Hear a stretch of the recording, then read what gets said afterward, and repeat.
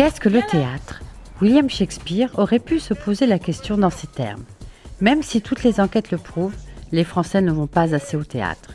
Pour notre part, Loïc Coffret et Claudine Bonomo font le point à ce sujet. On a monté ce spectacle-là pour, euh, enfin c'est ce que raconte le spectacle, pour dire aux gens que euh, voilà, le théâtre, c'est euh, on peut avoir des a priori euh, et des peurs pour aller au théâtre, mais euh, dire aux gens, voilà, euh, venez au théâtre. Ça part du principe que peu de gens vont au théâtre, donc c'est en, grande partie pour donner envie aux gens d'aller au théâtre, parce qu'effectivement, il peut y avoir plein d'a priori, plein de, clichés qu'on peut avoir, d'idées toutes faites qu'on peut avoir sur le théâtre, et là, ça démontre que, pas du tout, et qu'il y a il y a une grande variété de, de, choses proposées au théâtre. Et c'est vraiment dommage de ne pas y aller, de ne pas profiter de, de, voilà, d'aller voir des spectacles. Donc c'est surtout un, une, une, façon euh, assez, euh, euh, comme une, une, façon assez décalée, assez drôle de, de dire venez au théâtre.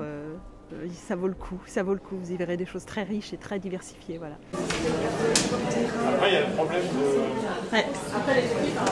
On est tous les deux assez amoureux de théâtre et on voit beaucoup de, beaucoup de spectacles. Et euh, quand on voit que des gens n'y vont pas, c'est aussi pour leur dire voilà, nous, nos plus grandes émotions euh, dans la vie, ça a été des moments de théâtre euh, et c'est pour ça qu'on continue à y aller, à voir beaucoup de pièces. Euh, et dire aux gens voilà, alors ça marche pas à tous les coups, il y a des fois on n'est pas touché, on n'est pas ému, mmh. ou voilà, ça ne nous raconte rien. Mais il y a des fois où c'est des, des, émotions d'une force incomparable, qu'on qu trouve nulle part ailleurs. Quoi. Mmh. Ça, je sais pas. Si, si.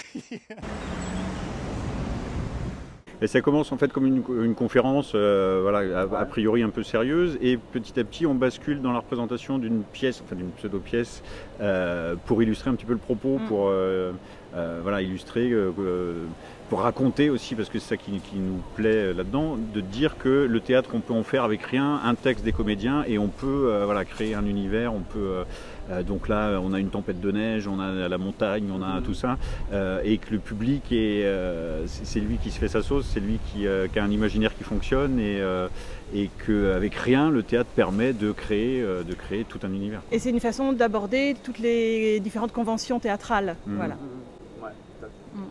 Euh, et dernière question, vous avez le temps d'aller voir euh, d'autres pièces, euh, j'imagine ici Alors moi oui, parce que je ne joue que ça à midi. Ouais. Mais par contre, Claudine Moi c'est plus difficile parce que je joue un spectacle à 20h35 qui s'appelle Je te regarde d'Alexandre ouais. Abadea. Et, et, du coup, entre midi et 20h35, oui, dans l'après-midi ouais. je peux. Pour le moment, je, je déjà j'essaie de... C'est un peu un marathon pour Claudine. De tenir le coup, oui. Ah, d'accord. Mais j'espère bien, j'espère bien. Je vais commencer à, à aller voir d'autres spectacles. Ok. Bon, bah merci. Et donc là, là c'est la représentation jusqu'au. Jusqu'au 28, on joue jusqu'au 28, ouais. ouais. Avec relâche les lundis. Au nouveau grenier, ouais. Bah, merci. Merci. merci.